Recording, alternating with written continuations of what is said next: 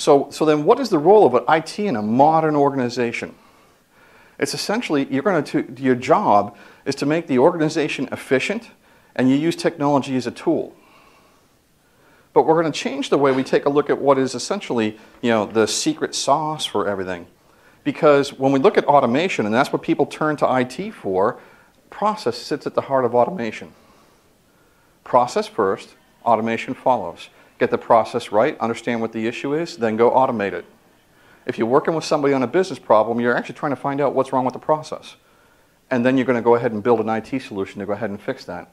So IT should be a consumer of technology as opposed to the generator. Because there are people who are out there now who are better at generating that technology than you're going to be. And they're going to play at scales that you can't play at.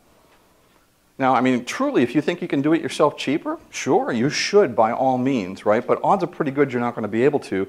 And so what you want to do is stop trying to build your own technology. Stop trying to build an engine and instead learn how to drive the technology. So, you know, most IT organizations, they're technology focused. They know how to build the engines, but they don't necessarily know how to drive the car. And what you want to be able to do is to be strategic, you have to think about what process is about at that point in time.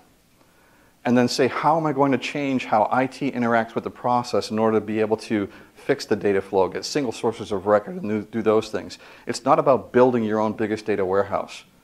It's not about building your own biggest uh, MySQL solution or anything else like that. Those kinds of things can be had cheap elsewhere.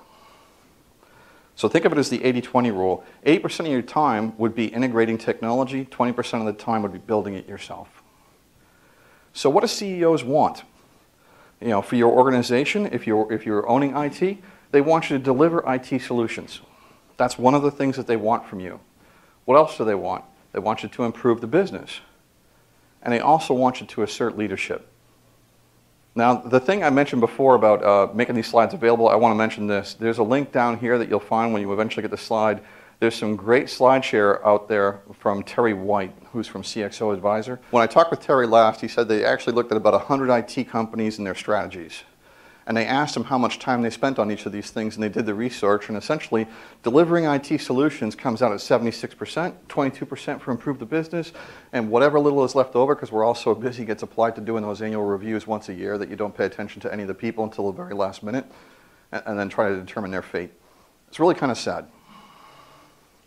But what, a, but what, does a, what does a CEO want, right? So ask your CEO what she wants, and what she'd tell you is, you know, the solutions, you know, is not as big a deal as you think it is. They want to do what? Improve the business. That's all a CEO wants to do, is improve the business. And some of you might think, I'm here to do an IT solution. No, you're not. You're here to improve the business. That's what it's all about. And so essentially, if you're delivering what people want, most of your time should be in improving the business. A lot more of your time should be in leadership that wasn't. And then over here, that's the 20% where you deliver the IT solutions that you cannot find off the shelf or as a commodity that you put together. Those of you who just had that lunch and listened to the keynote speaker, what did he talk about? Right? Grabbing off the shelf components and innovation came from how they were put together. You don't get bonus points by taking stuff that's, that's fairly high end and putting it together and saying, well, I know I'm going to be able to keep my job because I'm going to buy this Exadata and that's going to solve the problem, right? Because it's Exadata. Or, you know, in the past, you used to say, if I bought IBM, you know, I won't get fired.